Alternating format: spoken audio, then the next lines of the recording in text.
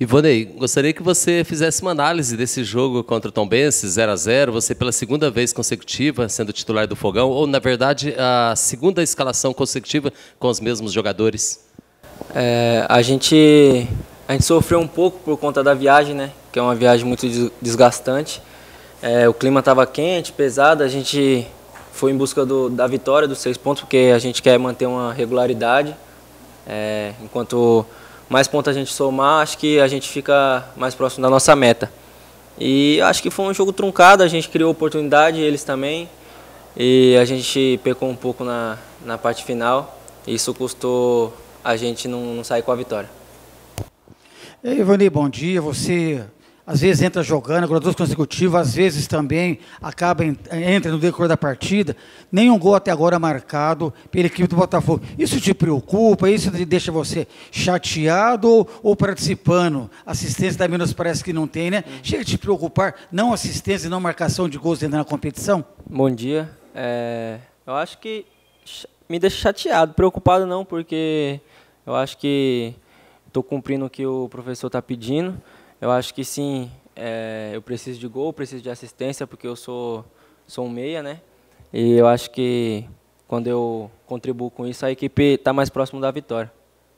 Bonê, bom dia. É, a respeito disso, né, do que o Chamusca tem pedido especialmente para você, nos jogos fora de casa tem chamado a atenção é que o Botafogo não tem conseguido fazer gols. São cinco jogos sem fazer gols fora de casa, são 501 minutos no total, né, sem conseguir fazer um gol como visitante. É, o que parece para a gente, a mensagem que chega para a gente, é um Botafogo mais preocupado em não tomar gol, em não perder o jogo e muitas das vezes não ataca tanto, não chega com tanta força no ataque. Esse tem sido o problema, uma preocupação muito grande em não perder e tem dificultado o time a conseguir chegar com mais força na frente? Não, acho que a gente sim tem, tem uma preocupação maior e, e bastante com a defesa, né? Porque se a gente não tomar gol, a gente está mais próximo da vitória. E a gente tem essa, essa filosofia né, de não tomar gol para a gente buscar a vitória. Eu acho que a gente sim está pecando na, na parte final. Já tem uns jogos, mas a gente está trabalhando. Toda semana a gente trabalha finalização, movimentações ofensivas. Eu acho que, que é normal do futebol, né? Todo time passa por essa fase, mas a gente estava pior, né? A gente conseguiu uma vitória com, contra um time grande que, que nos deu confiança. Eu acho que agora é momento da gente retomar essas vitórias.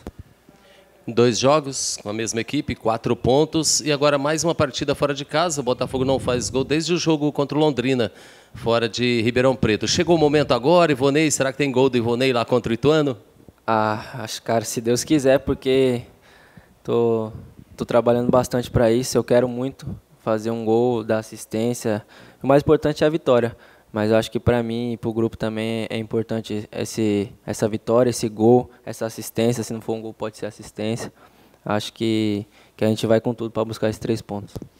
Olha, com o jogo do final de semana, vai faltar aí nove jogos para o encerramento da, da competição. Com os jogadores, com a comissão técnica, dá para chegar ao acesso? Dá para se manter na, na, na, primeira página da, da competição? vai ter trabalho para o final do campeonato. Eu acredito que o rebaixamento esteja fora de cogitações. Como está o pensamento dos jogadores, da comissão técnica, de todos aqueles que agregam ali o grupo profissional do Botafogo? A gente tem uma meta é, traçada entre os, os atletas e a comissão, que é se manter na parte de cima. É claro que a gente tem chance de acesso, mas a gente não cogita rebaixamento, a gente quer buscar a primeira página entre os 10, entre os 5, entre os 7. Acho que é importante para a gente é, essa posição na tabela. Evone, você veio do Santos, que está não só esse ano, mas já há alguns anos, com bastidores quentes, campanhas ruins, uma pressão muito grande, troca constante de técnicos também.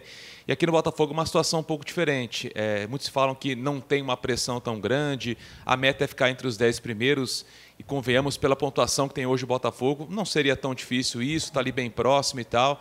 É, como é que é para um jogador trabalhar com esses dois ambientes? Um clima mais hostil no Santos, pressão muito grande, até a torcida indo várias vezes no CT conversar com os jogadores, e aqui essa pressão que não é tão grande assim. É, é, queria que você falasse exatamente sobre isso, esses dois ambientes, e se essa, entre aspas, falta de pressão no Botafogo mais ajuda ou atrapalha? É, são duas torcidas é, gigantes. Eu acho que lá no Santos está tá com essa pressão, esse clima mais tenso, porque já vem de anos, já tem uns três anos assim.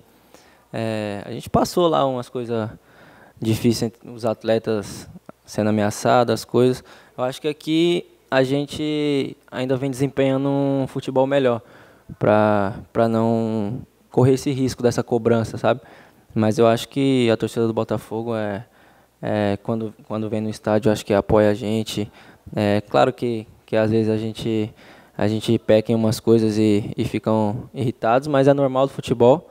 E, mas para mim, cara, eu acho que, que o que eu estou vivendo no Botafogo é especial por conta de bastante tempo eu não jogava, não tinha esse ritmo que eu estou tendo.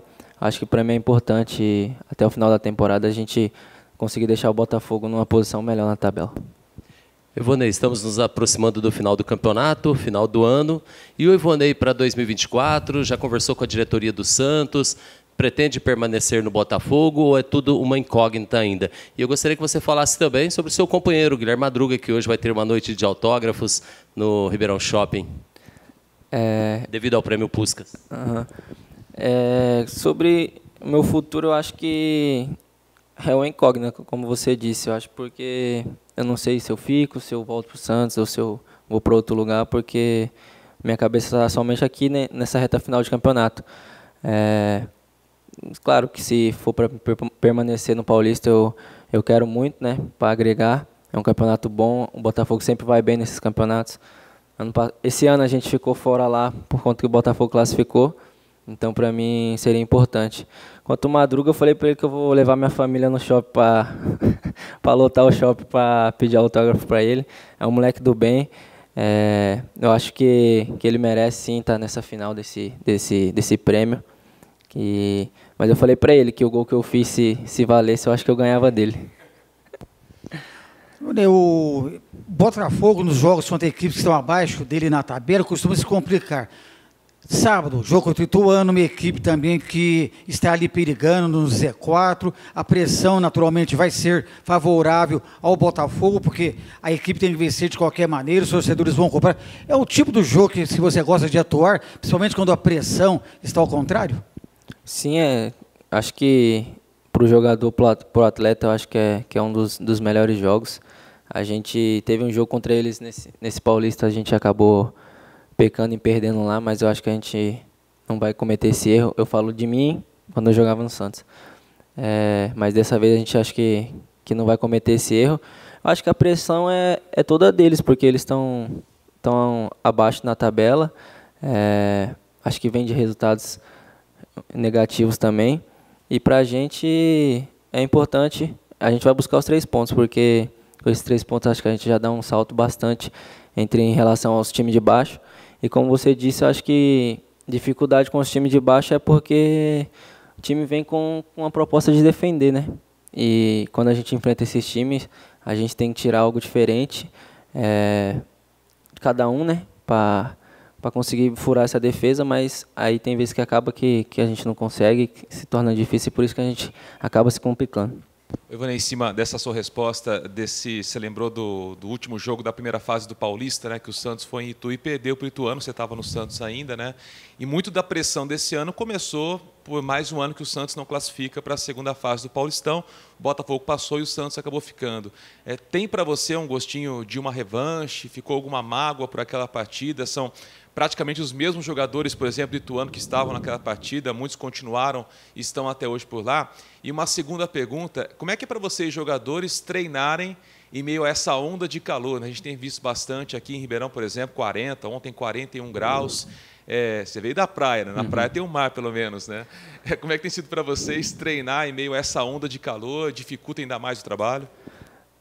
Ah, eu acho que sobre o calor acho que, que tem dificultado sim, mas hoje graças a Deus acho que deu uma refrescada. A gente está procurando é, fazer o treino mais cedo, mas ontem foi difícil. Ontem foi um calor que a gente saiu é, exausto do treino.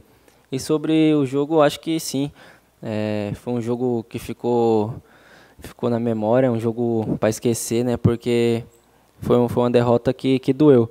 E eu acho que indo lá e conseguindo os três pontos, que, que é o mais importante, eu acho que, que vai, vai dar esse gostinho a mais.